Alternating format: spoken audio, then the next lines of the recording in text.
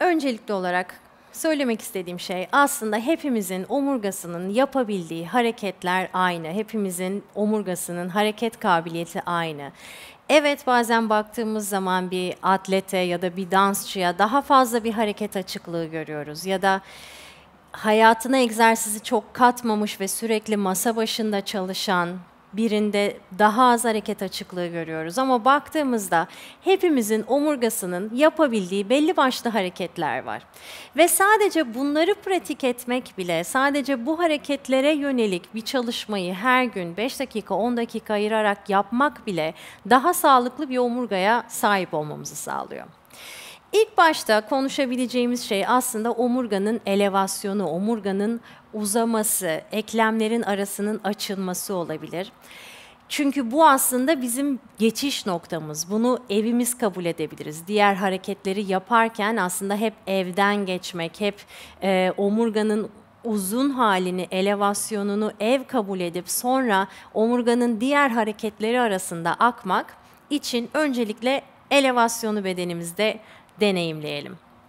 Şimdi öncelikli olarak bacakların desteğini rahat alabilmek için ayakları çok öne ya da çok geriye koymak yerine çünkü ayaklarımı geriye koyduğumda vücudumu doğalına bıraktığımda öne düşmek ister ya da ayaklarımı çok öne koyarsam o zaman beden geriye doğru düşmek ya da yayılmak ister.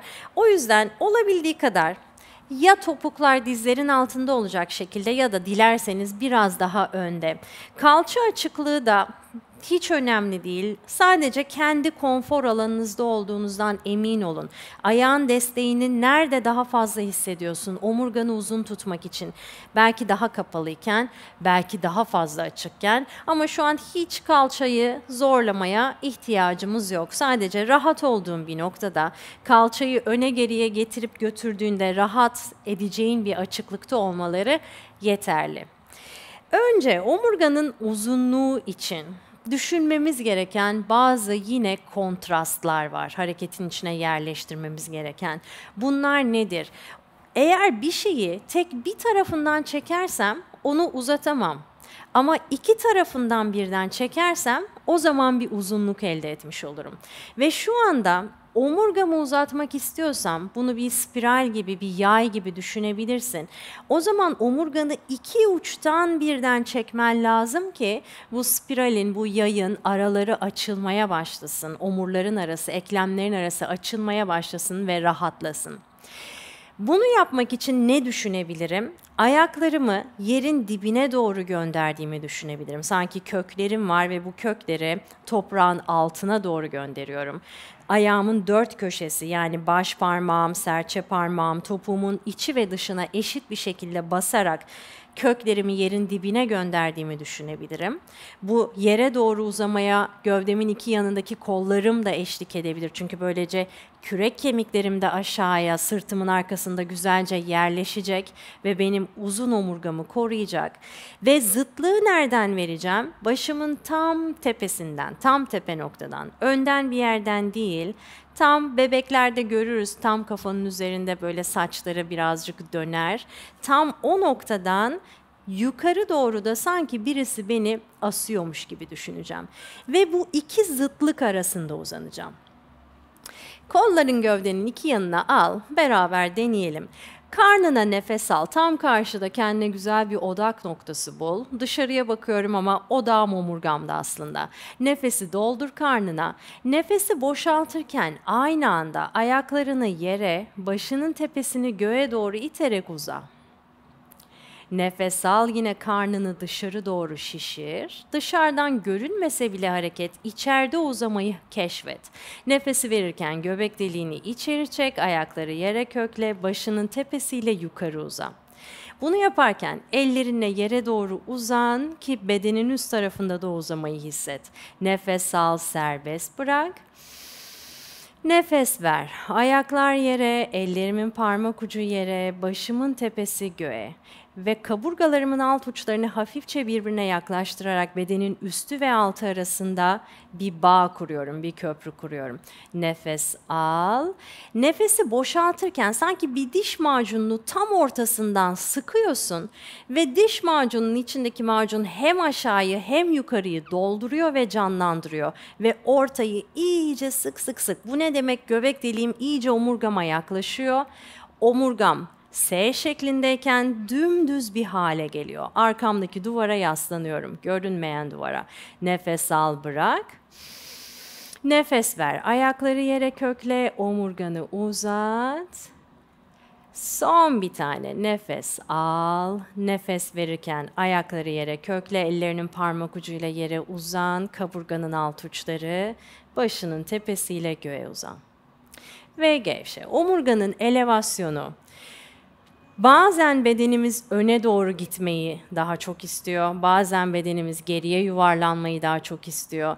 O yüzden aslında bir pratiğe başlarken önde ya da geride normalde nerede daha fazla duruyorsa onu merkeze çağırmak ve merkezde uzamasını sağlamak daha sonra ekleyeceğimiz hareketler için güzel bir temel atmamızı sağlıyor.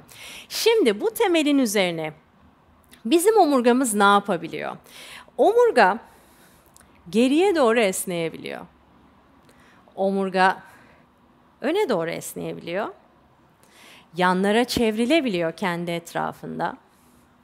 Yanlara bükülebiliyor. Ve yana kayabiliyor. Aslında hepimizin omurgası her zaman bu hareketlerin etrafında dolanıyor. Sadece hareket açıklığımız günden güne değişiyor, günden güne farklılaşıyor ama aslında hep bunların etrafında dolaşıyor. Dolayısıyla biz omurgamızı rahatlatmak için birazcık bu hareketlerin etrafında dolaşacağız ve her zaman elevasyondan, omurgayı uzatmaktan hep evden geçerek diğer bir harekete devam edeceğiz. Önce omurgamızı geriye ve öne esnetelim. Bununla başlayalım. Bunun için sizden istediğim ellerinizi göğüs kemiğinizin ortasına yerleştirin. Parmak uçlarını sternum dediğimiz göğüs kemiğinin üzerine yerleştirin. Ve sanki parmak uçlarım önce hafifçe derine gidiyor ve sonrasında göğüs kaslarımı iki yana çekerek açıyorum ve tam ortadaki gözle gökyüzünü görmek için göğsümü hem yukarı doğru kaldırıyorum hem de iki yana doğru açıyorum. Bu omurgamı geriye doğru esnetiyor ve bedenimin ön tarafını açıyor. Tekrardan elevasyona geliyorum, nefes alıyorum. Nefes verirken bu sefer parmak uçlarımı tekrardan merkeze kaydırıp sonra içeri doğru göğsümü yumuşatmak için bastırıyorum. Bu da omurgamın bir C şeklini almasını ve öne doğru yumuşamasını sağlıyor. Eve gel nefes al. Nefes vererek parmak uçlarını içeri gönder. Sonra iki yana aç. Bedenine dokun, hisset nasıl göğüs kemiğin açılıyor, genişliyor. Ve sonra tekrar kaydır merkezine doğru, içeri doğru nefesi vererek yumuşat. Nefes al, elevasyon, omurgam uzadı. Nefes vererek geriye doğru esnet. Nefes al. Vererek göğsünü yumuşat. Ve bu sefer sırtını esnet. Yaptığım hareket bir bedenimin ön tarafını esnetiyor ve aslında çok fazla buradan hareket etmiyorum. Çünkü bu normalde hepimizin daha alışık olduğu şey.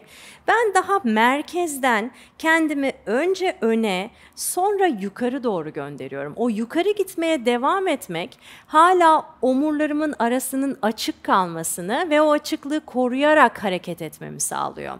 Hala eklemlerin arası nefes alıyor ve hep nefes alsınlar diye o e, spirali iki yana çekmeye ve uzatmaya gittiğim yerlerde de devam ediyorum. Şimdi kesmeden bir dört tane yapalım. Bir sırtımı açacağım, yumuşatacağım. Bir bedenimin önünü. Hazır, merkezine gel, elevasyonunu yap, nefesini al. Vererek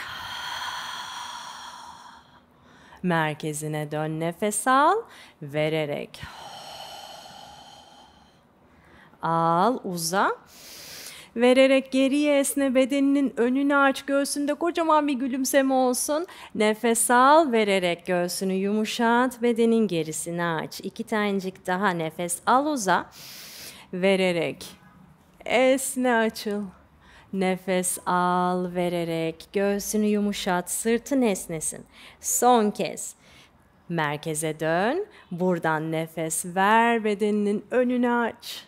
Nefes al vererek göğsünü yumuşat, sırtını aç. Tekrar merkezine dön.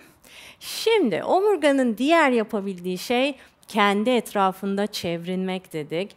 Bu sefer hatırlamamız gereken şey gözlerimiz sinirlerle aslında omurgamıza bağlı. Dolayısıyla hareketi yaparken her zaman nereye baktığımız çok önemli. Eğer ben yere bakıyorsam bu benim sırtımı yuvarlayacak. Yukarı bakıyorsam bedenimin bu sefer ön tarafını açacak, beni geriye doğru esnetecek. Eğer düz bakıyorsam o benim uzunluğumu korumama yardımcı olacak. Ve şimdi ben çevrilmek istiyorsam, omurgamı çevirmek istiyorsam ve bu çevrilmenin olabildiği kadar tepeden başlamasını, gözle bağlantı dolayısıyla atlasla, ilk omurla bağlantısını düşünerek gözlerimi de işin içine katıp çevirebildiğim kadar yuvalarında çevirip arkadan bana kim sesleniyor?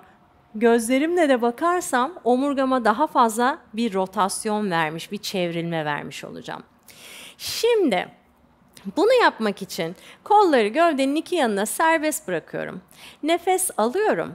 Nefes verirken bir tarafa doğru çevriliyorum. İki elimi de arkaya aldım. Birini bacağımın dışına, diğerini sandalyemin ya da taburemin arkasına ve omuzumun üstünden geri bakıyorum. Nefes alıp merkezden geçiyorum ve nefes vererek diğer tarafa. Kalçan seninle beraber çevrilebilir. Olabildiği kadar omurganın doğal hareketini koru. Bir şeyleri tutmaya çalışmadan. Sadece arkandan biri sana seslendi ve dön bak sana kimin seslendiğini görmek için. Nefes ver dön. Nefes ver dön. Ve bir vida gibi hisset bedenini.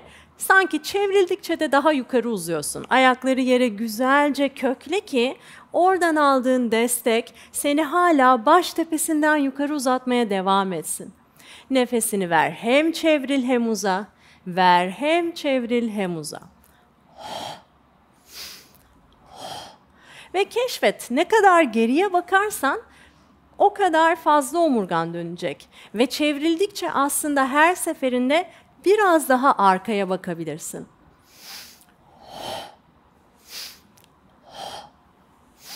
İki tane daha yapalım. Nefes ver. Son kez yavaşça merkezine dön. Ve omurganın diğer hareketi yana doğru bükülmek. Bunu yaparken kollarını gövdenin iki yanında serbest bırak ve sanki kulağına su kaçtı. Öyle düşün. Sanki o suyu aşağıya doğru boşaltmak istiyorsun. Bakışların tam karşıda. Odağın karşıdaymış gibi görünse de aslında yine odağın omurganda ve hisset. Bedenini bir tarafa doğru eğdiğinde ne oluyor? Diğer tarafta ne oluyor? Başını tamamen bırak. Yavaşça merkezine dön nefes al Vererek diğer tarafa eğil. Başını tamamen bırak. Bu sefer ayakların yerde köklüyken oturma kemikleri, oturduğunda hissettiğin iki tane çin çubuğu gibi kemik var. O kemikleri de her zaman taburenin üzerinde tut. Ve oturma ke- kemiklerin taburenin üzerinde kalmaya devam ederken sen kendini yana doğru eğ. Geri gel ve diğer yana. İyice sanki elinle yere değmek istiyorsun ama bedenini yere doğru bırakmadan, bir yeri açmaya çalışırken öbür yeri kapamadan aslında o uzunluğa o yüzden geliyoruz. Bedendeki o elevasyonu o yüzden sağlıyoruz ki yana doğru giderken diğer tarafı kapatmayayım. Nefes al vererek elinle yere doğru uzan. Nefes al vererek elinle yere doğru uzan. İki tane daha boynunu bırak, serbest nefes ver. Boynunu bırak serbest, nefes ver. Yavaşça ortaya gel ve gevşe. Omurganın diğer bir hareketi omurların bir tanesinin diğeri üzerinde çok minicik de olsa kayması. Çok ufak bir pay belki ama bir omur bir tanesi duruyorken diğeri onun üzerinde yavaşça kayabiliyor. Şimdi bunu hissetmek için bakışlarını tam karşıda tut ve gövdenin üst tarafını yana doğru kaydır. Ortaya gel, nefes al, vererek diğer yana kaydır.